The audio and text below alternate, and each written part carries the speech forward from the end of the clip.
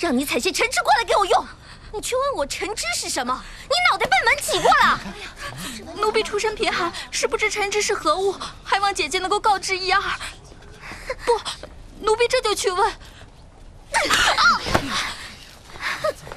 家里睡马圈的下人都知道橙汁是什么，宫里这么高贵的所在，怎么会有宫女如此的没有见识？你分明是存心敷衍我。就算是一些高贵的所在，也总会有一些下贱的行径。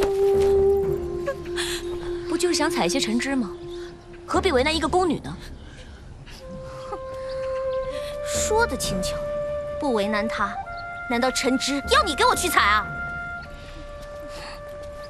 姐姐息怒，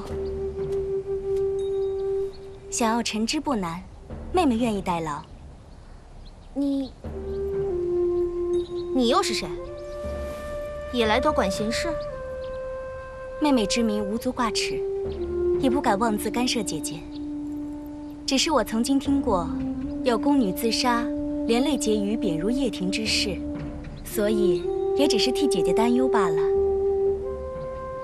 不知道这附近哪里有睡莲？咸灵宫附近有花圃，叫流芳园。听说花圃当中便养有睡莲。好，那我今夜就去那花圃，等明日一大早，姐姐便有陈之用了。哼，入夜方去，那我便等着。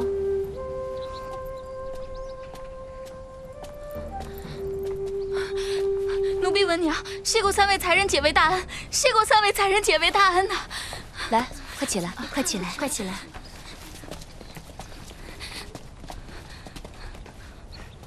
我在宫外就听说了，这太极宫里的睡莲，大多是大石进贡的稀有品种，叶无闭合，花开百日。如果能用它来做橙汁，那就更珍贵了。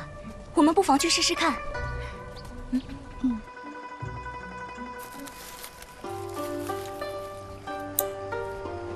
从事西方，过十万亿佛土，有世界名曰极乐。其土有佛，号阿弥陀。姐姐，你在念什么？念的是《阿弥陀经》，讲的是西方的极乐世界，诸般法门与造化。名曰极乐的世界，这世上真的有极乐之地吗？身为女人，若是能跟自己喜爱的人。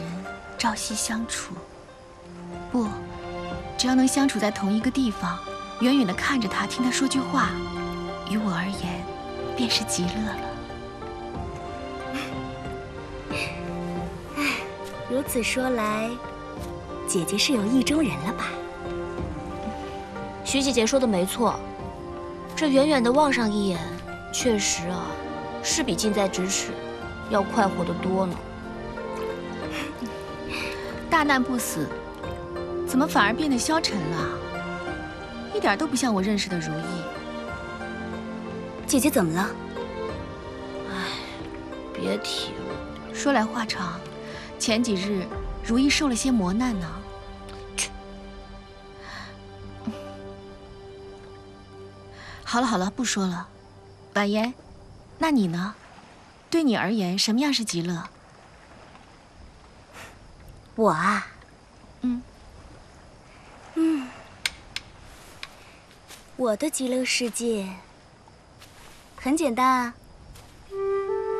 就是能找到一位有情之人，他能与我长相厮守，然后我为他生儿育女。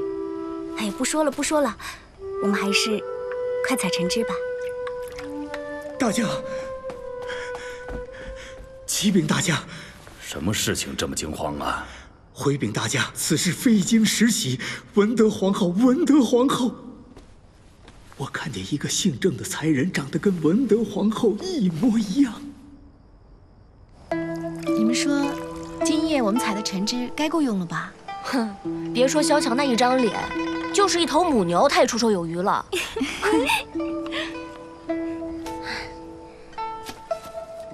哎，快看有萤火虫哎，在哪儿？这儿呢。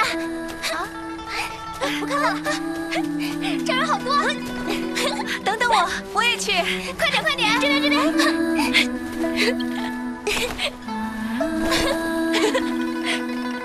哎，没有了。哎，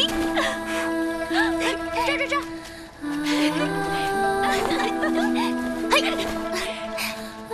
哎，你抓到没有啊，魏姐姐？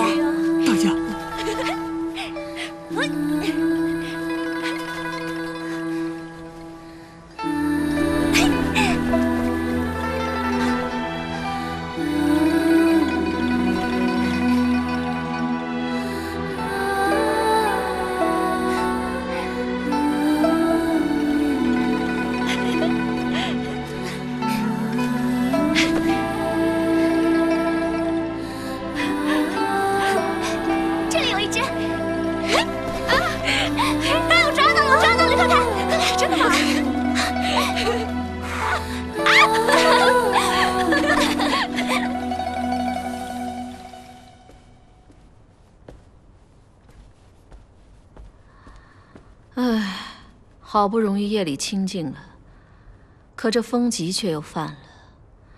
唉，睡个安稳的觉就这么难吗？娘娘，依奴婢看，陛下对那武如意只是一时新鲜，倒是那新进宫的郑婉言，启禀娘娘，甘露殿内今晚有动静。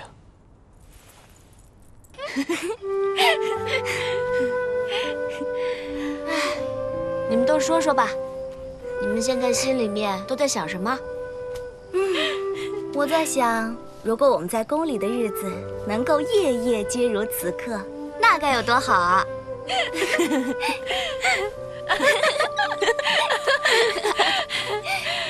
开心死了！郑才人，啊，郑才人，在叫谁啊？好像是在叫你，啊，是谁、啊？在哪里啊？郑才人，郑才人，郑才人，哎婉言，是不是叫你啊？叫我？嗯，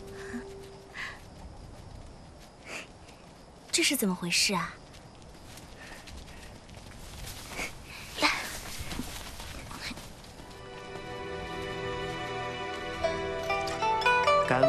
哪位是正才人？